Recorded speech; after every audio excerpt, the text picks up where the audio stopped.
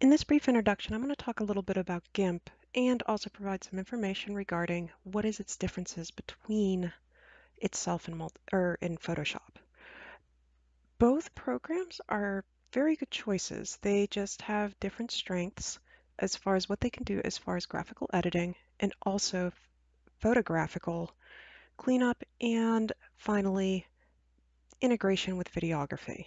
So let's go ahead and get started here a little bit. So mainly here I'm going to talk about what is GIMP, comparing it to Photoshop, and just going briefly over how do you get started using GIMP. And finally, probably one of the most important things whenever you are working with any form of multimedia software platform is your file organization practices.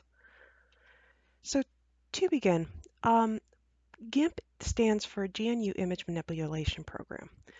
This is what we'll often call either open source or free to use software, which means you don't have to pay anything. This often, you know, a lot of times I'll tell this to students and, you know, they'll be like, oh, you know, it must be, you know, a lesser version of Photoshop. Anymore in this day and age, that's not exactly the case. Sure, when you're working with open source software, it's often uh, members of the community and members of the multimedia culture that are giving up free time to actually build and update the software. So there is that element to it. However, so much work has already gone into programs like GIMP that it is an excellent choice.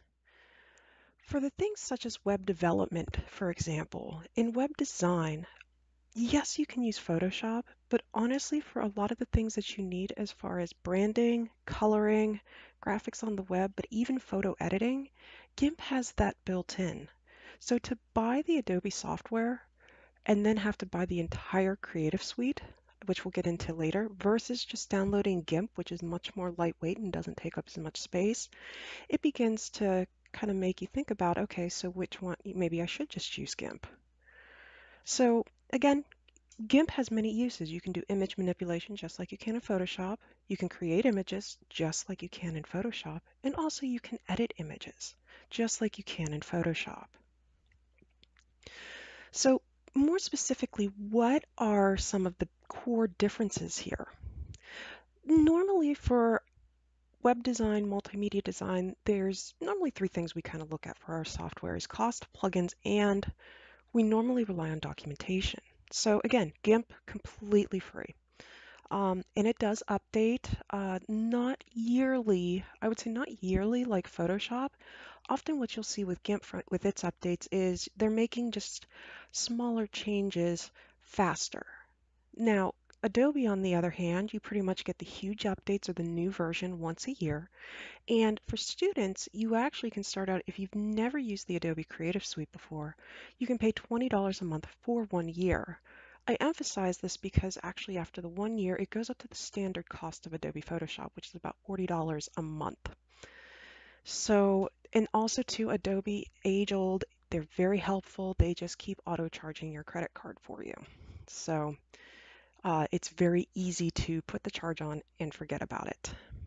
Also with Adobe, as far as the cost goes though, you're paying that $20 a month. It's not just for Photoshop, it's for the entire Creative Suite, which means you get things like Premiere, you get things like Illustrator, you get Adobe Animate, you get uh, Adobe Photoshop. You can also gain access to a ton of other software packages that honestly you may not need.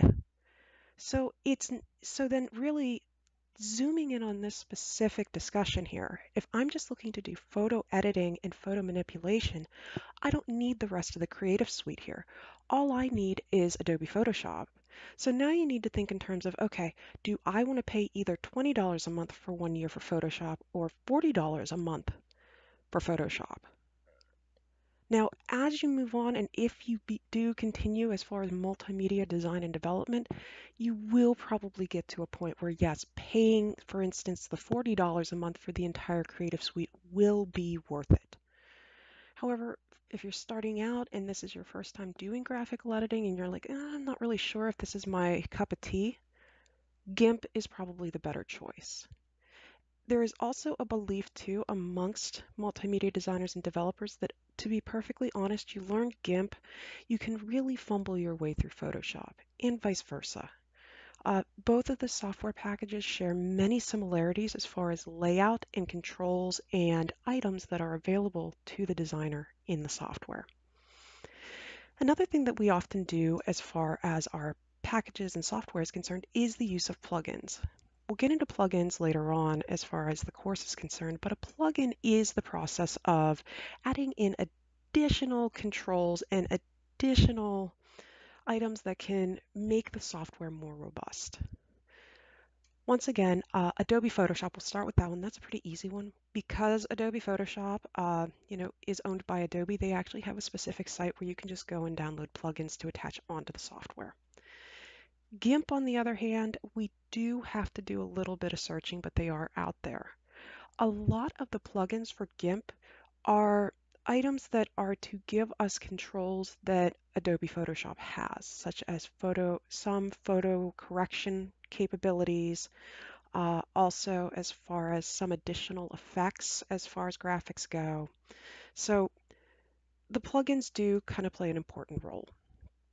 Lastly, something that kind of, they're both the same, and honestly, this is a common practice across media software. We reference documentation as far as different elements. The documentation is online for both of them.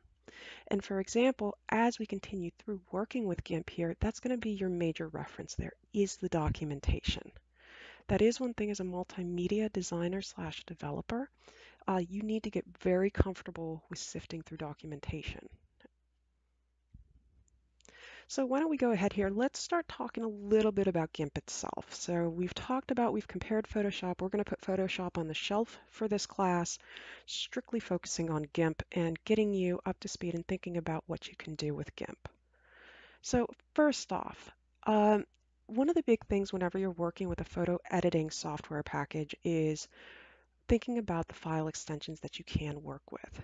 Um, overall, uh, GIMP mainly focuses on image file types. So for instance, it will recognize things like the GIF, the PNG, the JPEGs, uh, depending on which way it's spelled. And these are also too, uh, for this course specifically, you want to get really comfortable with these because these are also standard web-based published file types. Now, before I talk about the working file type, I do want to point out that there is a working file type for Photoshop, which is the .psd. One of the questions I often get is, well, can GIMP open a native Photoshop document? The answer is yes, sort of. Text elements, certain type of effects and filters may not carry over, but GIMP is capable of opening it. It may just not look like what it looked like in Photoshop, and you may have to backtrack a little bit and make some changes there. GIMP, on the other hand, its working file type is the .xcf. This means a working file type is where, let's say that you have a lot of edits done to an image or a graphic, and you save it as a working file type, so you have access to your layers, etc. This allows you to reopen the file and make edits. So if maybe you misspelled something and you noticed it on the published file, you can come back to this working file and you can go in and fix your spelling error and then republish it. Above all, one habit you want to get into when you are working in this type of software and really any type of multimedia software you want to save the working files. You need to always have access to those because you may run into a situation where you are going to need this file to make edits or changes based on a client's requests. The only other thing I wanted to talk about, especially for if anybody this is your first time working in a graphical program, there are two types of graphic types that we deal with in multimedia mainly. The first type is what we call the raster graphic, and that's something that GIMP shines at. Raster graphics are really these high quality graphics. Oftentimes these come off of uh, cameras. These also use pixels. Raster graphics are capable of housing thousands upon thousands of colors. The drawback is, however, we lose a lot of scalability as far as the image is concerned. We are tied to the amount of pixels as far as the PPI or pixel per inch of the graphic. If you've ever tried to zoom in and maybe upload something to your Facebook or your Instagram and it looks all kind of pixely or, you know, uh, blocky, that's an example of a raster graphic that has been over zoomed in on. So what GIMP eh, or you know whatever graphic program you're doing, what it's trying to do is fill in the blanks. It's trying to sit there and look at the pixels around the area and say, okay, I think this is the color that would go there. So raster graphics are great as far as we use these quite frequently in print design. Uh, we also use them whenever we're working in photography because we want those thousands upon thousands of colors.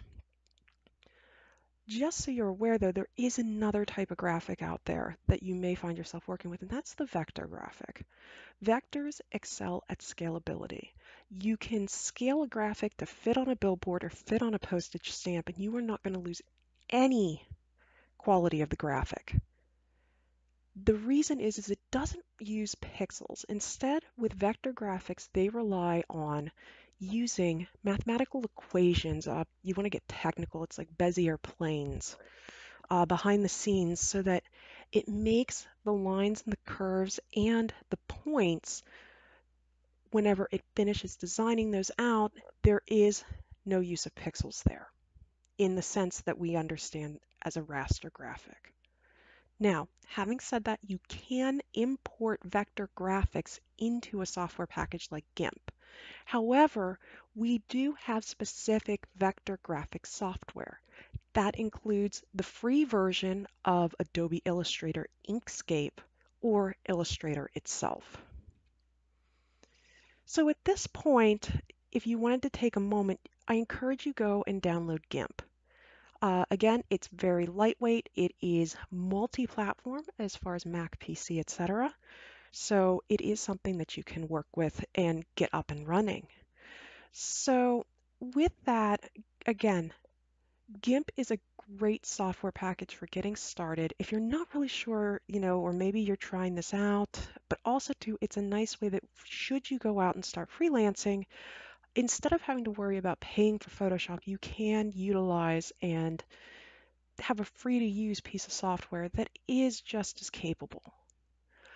Now, whenever you're working with these type of projects though, one thing that I really wanted to also tie in just very, very briefly here as far as the overall project is concerned or as far as the discussion is concerned here is thinking in terms of your file organization.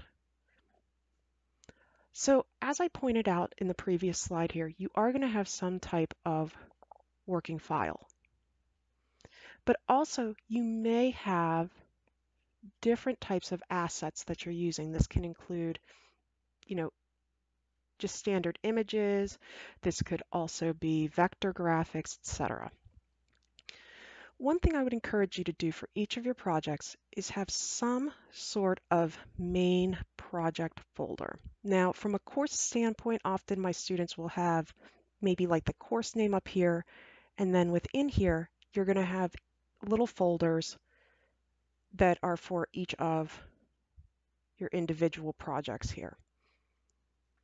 But either way, within these folders, you want to make sure that you have that XCF file, that working file. And then again, any type of assets such as graphics, vector images, etc. that you may want to work with. Now, in future videos, I am going to also talk about because you may be pulling images and vector graphics off the internet, we are going to also be focusing on things especially such as copyright.